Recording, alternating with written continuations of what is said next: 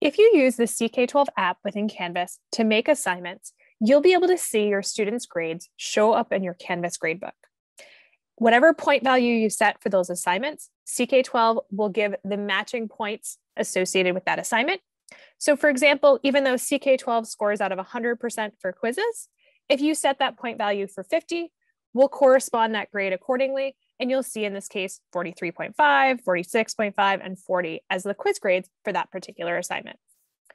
Other examples like PLIX and SIMS are full or no credit, so you'll see those scores. And then practice is going to give you values out of the goal of 10 correct. You're welcome to use the links within your gradebook or the speed grader to access your reports for your class and get more detailed information. But I find it easier simply to go to your assignments within Canvas. And then you can open up any assignment there and you'll have the opportunity to access both insights and your full class report. I do recommend that when you're working with Flexbook 2.0 lessons that you choose the load in an, another tab option when making that assignment. And you can then click on this link to load that assignment. Students accessing it will automatically be dropped into the assignment, but you have one extra window that shows up. You can preview this assignment, which would drop you directly into it like a student. You can click on this view reports, and it's gonna open up that class report in a new tab. So if I go ahead and I click on that, it will load that class report in the new tab. And I can explore, in addition to, you can see that full or no credit for some sims or PLIX, the full quiz scores here, practice scores here. I can actually dig into those details. So in this particular case, this student got a goal of 10 correct, and they have a proficient skill level. Another student got their goal of 10 correct. It looks like they actually got 11 correct, so they went a little further but is still, still developing that skill level as they work their way through. You can also see if a student has done the work on the assignment but hasn't clicked that turn in button, you'll see this little needs to turn in option here, or hasn't started the assignment for this student, which means they need to actually go in, open that assignment, and do that work before they turn it in. You can even reset their score in practice if you want them to restart and get a fresh beginning level to help kind of build that new skill level accordingly. For quizzes, you might see information such as the first attempt and second attempt if you allow multiple attempts. But regardless of whether it's a quiz or practice, you can actually dig into the questions themselves and see exactly how a student did here, or similarly on the practice. In this case, the level of questions, the actual questions, whether they did a first and second try, how that plays out as they go through. So go ahead and use that detailed class report that you can access from your assignment link to dig into more information and get a better sense of exactly how a student's doing on different pieces.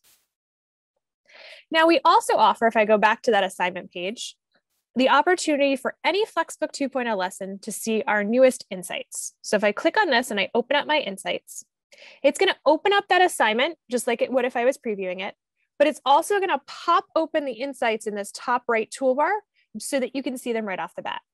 And this will give you a sense of how your students are doing.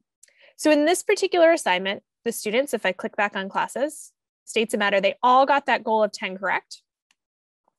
But then they actually have different skill levels, some of which you could see. So the Jumpstart student is proficient, Katie and Lindsay are both developing, and Carl just is beginning to understand this concept.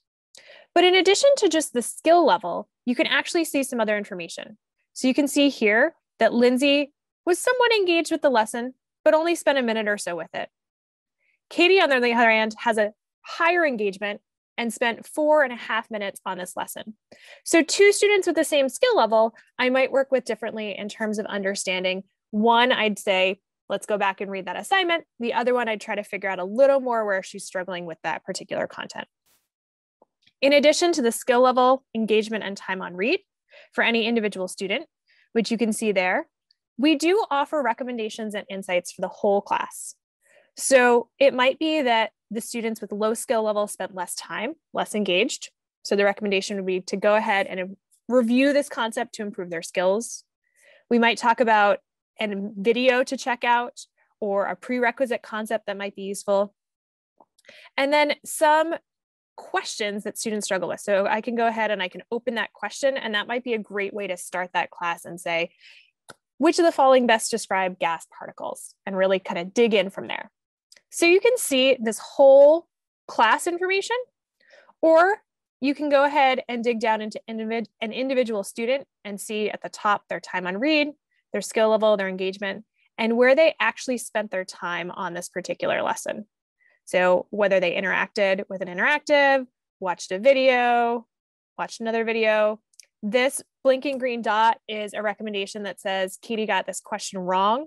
So that's a good paragraph for her to go back and review and understand as you go through. And we're continuing to build out these insights.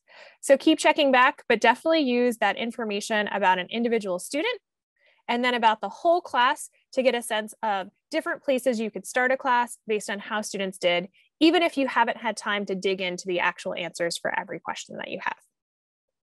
Hopefully that's helpful. And a reminder that you don't need CK12 classes, but you can access all of those reports and insights directly from within Canvas if you use that for your assignments.